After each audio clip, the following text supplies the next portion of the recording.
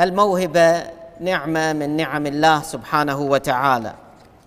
وكل نعمه وكل نعمة تستوجب من الإنسان أن يقابلها بالشكر والإحسان وأن يحسن استعمال هذه النعمة. الذي يهبه الله عز وجل الذكاء أو الذي يهبه الله عز وجل القوة الجسمانية أو الذي يعطيه الله سبحانه وتعالى القدرة على اكتساب العلوم بشكل جيد وسريع وسهل أو الذي يعطيه الله عز وجل قدرات شعرية أو فنية أو في أي مجال من هذه المجالات. هذه كلها تمثل صورا من المواهب التي ينعم الله عز وجل بها على الإنسان وتستوجب منه أن يشكر الله عز وجل من جهة وتستوجب منه أن يتواضع للناس من جهة أخرى وتستوجب منه أن يوظف هذه الموهبة فيما يخدم به الناس وبما يقدم من خلال هذه الموهبة شيئا لهذه الحياة. لكن بعض الناس حقيقة يسيطر عليهم الغرور يسيطر عليهم العجب يسيطر عليهم الكبر البعض من الناس يكونون أنانيين في هذه المواهب والنعم التي ينعم الله عز وجل بها عليهم وبعض الناس يكونون جشعين عند توظيف هذه النعم بحيث أنهم يريدون تحصيل ما أمكن من مكاسب مادية ولو على حساب مصالح الناس وعلى حساب آلام الناس وعلى حساب حاجة الناس. لا يهمه. يعني تخيل كمثال بسيط لو أن طبيبا يكون جشعا. مثل هذا الإنسان لا يهمه أن يرى عذابات ذلك المريض الذي لا يملك القدرة المادية مثلا على أن يخرج من هذه الحالة التي يعاني منها. وهذا الطبيب لا يوظف هذه الموهبة أو النعمة التي حصل عليها في تخليص هذا الإنسان البائس الذي لا يستطيع أن يقدم شيئا ماديا إلا لربما شيئا بسيطا في مقابل أن يتخلص من هذه المعاناة. هذه حالة جشع لأن مثل هذا العنوان عنوان الطب هو عنوان إنساني قبل أن يكون مهنة. الإسلام رسم صورة جميلة للإنسان في كمالاته. من هذه الصور ما جاء في الحديث النبوي أنه خير الناس من نفع الناس. خير الناس من نفع الناس. هذه الصورة الأولى. الصورة الثانية أن هذا الإنسان بكمالاته يدعو الله عز وجل أن يوفقه لتوظيف تلك المواهب والنعم التي أنعم الله بها عليه من أجل خدمة الناس. يدعو أن يوفقه لتوظيفها في هذا الطريق. رب أوزعني أن أشكر نعمتك التي أنعمت علي وعلى والدي وأن أعمل صالحا ترضاه. جزء من العمل الصالح الذي يرضاه الله عز وجل أن يوظف هذه النعمة في الطريق الذي من خلاله يخدم الناس.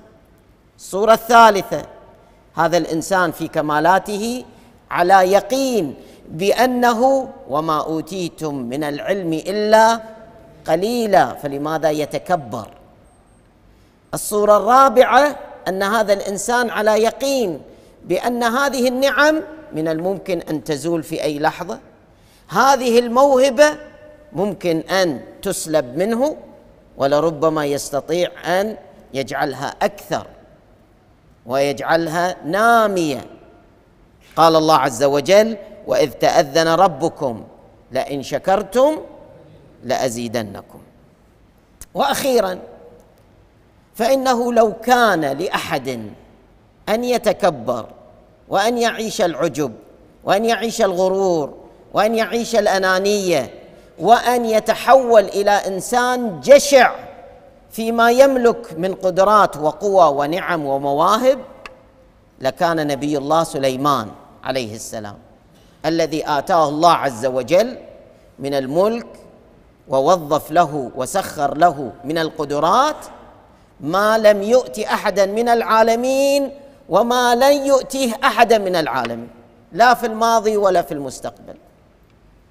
ولسليمان الريح غدوها شهر ورواحها شهر وأسلنا له عين القطر ومن الجن من يعمل بين يديه بإذن ربه ومن يزغ منهم عن أمرنا نذقه من عذاب السعير. يعملون له ما يشاء من محاريب وتماثيل وجفان كالجواب وقدور راسيات. إلى آخر الآيات التي وصفت كل ما تم تسخيره لسليمان عليه السلام.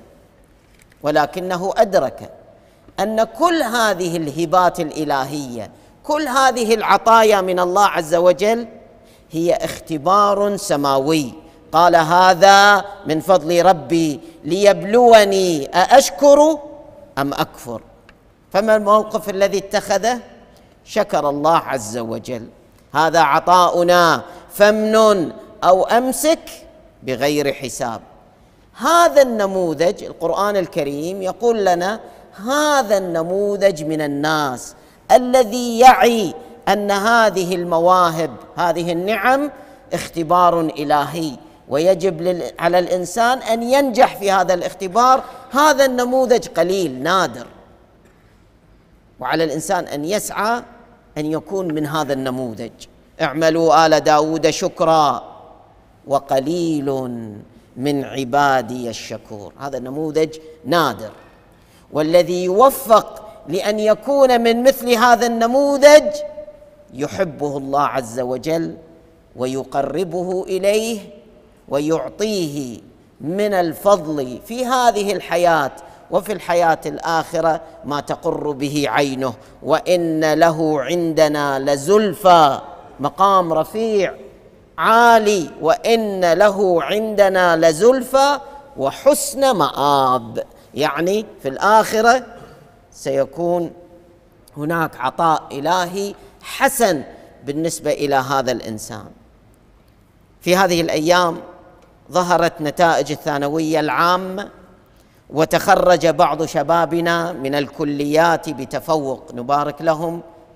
هذه النجاحات وهذا التفوق ليبدأوا مرحلة جديدة من حياتهم. فليكن هناك تخطيط من قبلهم لا على مستوى الخطوة التعليمية أو الوظيفية القادمة فحسب بل وفي الكيفية التي من خلالها نشكر المنعم على نعمه لأن علينا دائما أن نسعى لنكون ممن يعون قيمة المواهب التي أنعم الله بها علينا وأن نحسن استعمالها فيما يعود علينا وعلى الآخرين وعلى الحياة التي خلق الله سبحانه وتعالى بالخير. بسم الله الرحمن الرحيم والعصر. إن الإنسان لفي خسر إلا الذين آمنوا وعملوا الصالحات وتواصوا بالحق وتواصوا بالصبر.